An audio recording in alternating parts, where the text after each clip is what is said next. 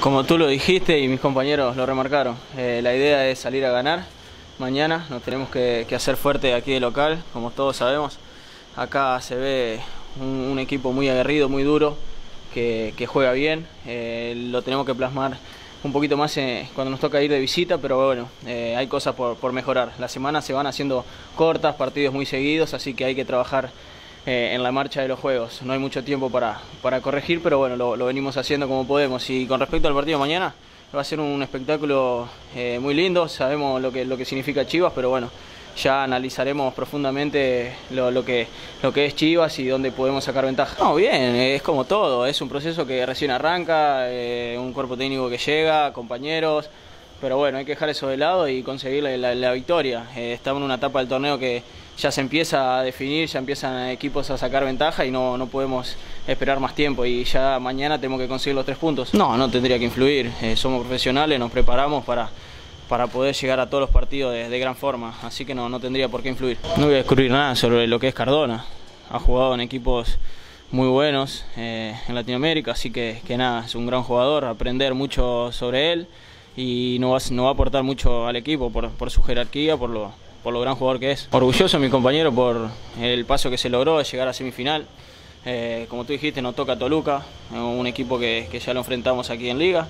Así que nada, pero mañana pensamos, pensamos en la liga. Eh, es lo que está en nuestra cabeza y conseguir los tres puntos, como le decía tu colega. Como decía tu colega, hace unos días es un orgullo portar la, la capitanía de, esta institución con, con su historia. Así que bueno, contento, contento por eso. Ya dentro de poquito me, toca jugar 100 partidos aquí, que, no es poco, así que, que, nada, feliz por eso también, me vengo adaptando muy bien y la gente que trabaja aquí me, facilitó todo.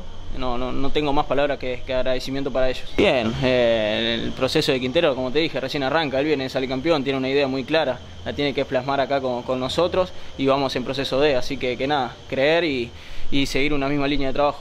Tú, Sí, obviamente, el número sabemos que estamos en la misma, en la misma cantidad, pero, pero nada, sabemos lo que es Chivas, como tú dijiste, a lo que significa aquí en el fútbol mexicano, eh, la característica de jugadores que, hoy tiene, que son muy buenos, pero nosotros no nos quedamos atrás, no nos vamos a achicar eh, solo con, lo que te diga lo que significa Chivas. Eh, Cholo tiene gran plantel y le puede hacer frente a cualquier equipo en cualquier cancha.